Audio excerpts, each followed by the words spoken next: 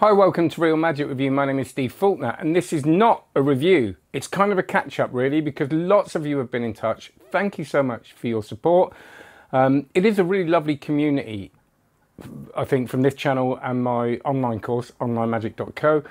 Um, I get so much support when I kind of disappear. I'm disappeared, I've been putting stuff out, but it's, it's lovely anyway. So I thought I'd make this video because the podcast hasn't been happening and people have been saying, is there going to be another one? Um, there is, don't worry.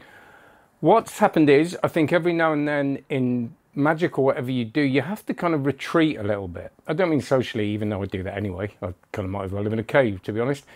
But you, you, you find that you're not working on the things you, you want to work on. You're trying to firefight and, and keep up with everything and keep up with the messages. And, and that's really important to me.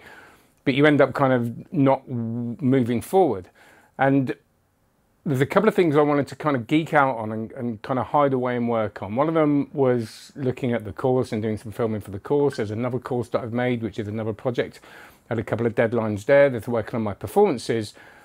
But also, and this is what I'm getting to, I'm going to make a series of videos, not instead of the reviews I make. So I've got loads of stuff to review here, way too much. So this isn't instead of, but I'm going to delve back into and some of you are going to go, yay, some of you are going to go, oh God, don't switch off, is tech. Phone magic, app magic, magic using tech. The reason for this is that, and I don't know what call calling yet, I might call them, um, oh, Dos, shut up. I might call them uh, the program, getting with the program, or something like that. I'm terrible at that sort of thing. Let, let me know what you think, comments below. Series of, of magic about app, apps and tech. And the reason is because I went out for it and I was like, no, I'm a sleight of hand magician, which I still see myself as. And I wouldn't go near apps. And then I was thinking, I closed a show with The Stranger and Wikitest, and I've used these for such success. Why have I all of a sudden gone, oh, it's not for me? And I realised what it was, was almost a feeling of fear and vulnerability. It was because there were so many updates, updates, updates, and I couldn't keep up with it, with all the reviews of of, of, I was doing, and I sort of told myself, oh yeah, I don't need them, and I don't. Nobody needs any any of this stuff, but I thought I don't need them. I, that's not part of my thing. And then I went to Blackpool, saw Sam Dixon's pads, spoke to Jonathan Levitt, you know, looked at the acronym guys, and again speaking about Kirsten very briefly, sort of more online, and and realizing how important this stuff is to know about for magic. Not necessarily to perform, you might not want to perform it, but I think if you're a magician, it's getting to a point now where if you just completely avoid apps and tech, you're kind of blocking your all knowledge away from a certain part of the market. And even if it's not your style, you might get an opportunity and go, oh God, if I use that for that, that would be incredible. And I think the the responses you get from it, the even if it doesn't fit your style, I think to know about it is a really important thing. It's here to stay. It's getting bigger and bigger and better and better, and importantly, more reliable. Now, reliability was the thing that I always got really scared about.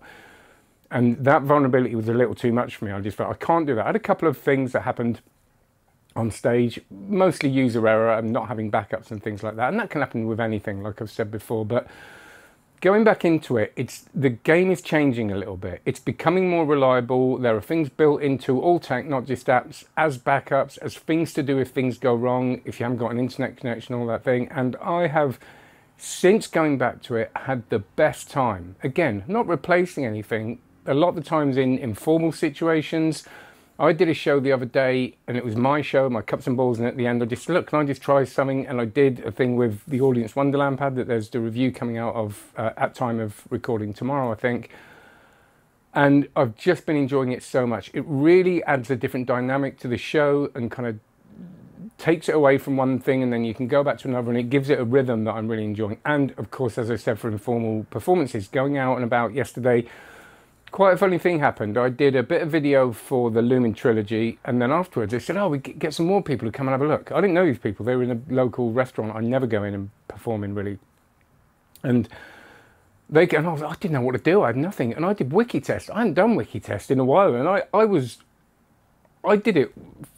I, I would describe accurately as badly, really bad. They had a phone. I was looking at my phone before I even did it because I was trying to remind myself, you know, what way I did it with the calculator or the Anyway, I did it really badly. They were completely floored. And it made me think this is proper everyday carry stuff. Even if you've got nothing, you can create miracles. Now, a lot of it is expensive, a lot of it isn't. Uh, so there are things we can do that don't require going and spending a grand.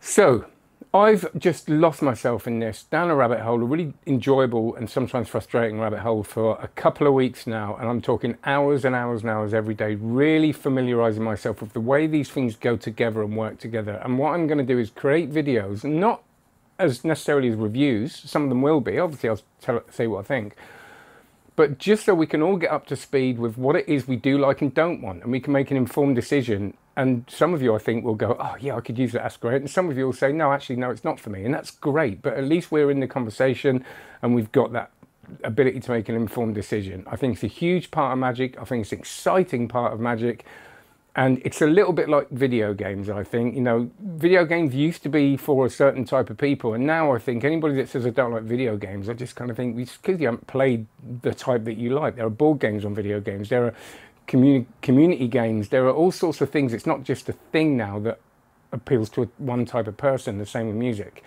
and i think if you're a magician there'll be something even if you don't get into performing it that you'll get from watching the videos so Again, I'll be looking at the apps, the different things, the tech, but also the way they work together.